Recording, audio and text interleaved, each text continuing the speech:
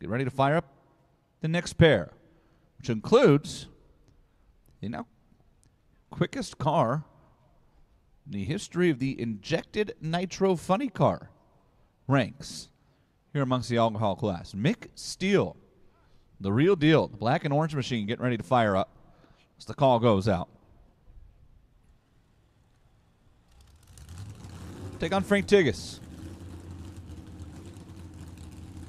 Frank out of Holbrook, Mass. Over on the Betway side of the track. And Mick Steele, the summit side of the racetrack. The only car in Top Alcohol Funny Car this weekend without a supercharger. That is an injected nitromethane machine. Rick Hickman doing the tuning, and last weekend in Reading, that car really came to life. They've been struggling with that race car, as have many of the folks who have gone through the injected nitro ranks to get it to run down track. Made some good progress with the early numbers. It's still not really thundering in the speed department. Frank's car has yet to come to life. They've turned that thing over a couple times. Just saw the motor turn over again and not start. They put the coil wires back in. They're going to try it again. They turn it over. They pull the wires. Nothing. I don't think Frank's going to make the call. I just see his hands went up inside the race car, and Frank Tiggett's not going to make qualifying session number one. His alcohol funny car would not come to life. So it'll be a solo run for Mick Steele here in the injected nitro machine. Steel cathodic, Fram Autolite. Steel Cat. Mick. Kodak, Tennessee is his home.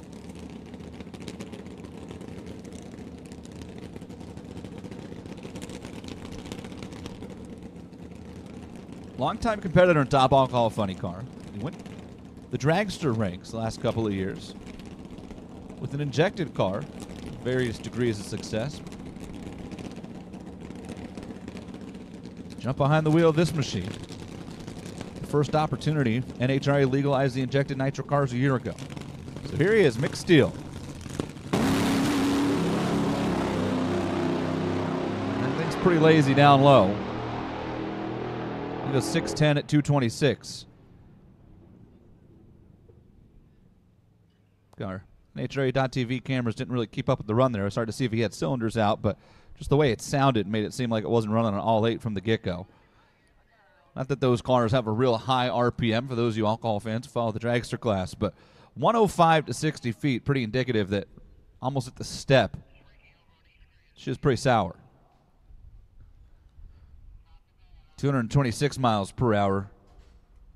Probably an even bigger indication that that car was not happy at the finish line or anywhere near it for that matter. 610 with a 5 for Mick Steele.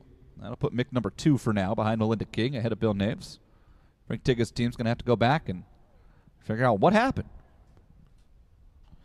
Why that race car wouldn't turn over. Well, it would turn. Why it wouldn't light. And Phil Ez, the ultrasonic team, We'll get ready to roll in next.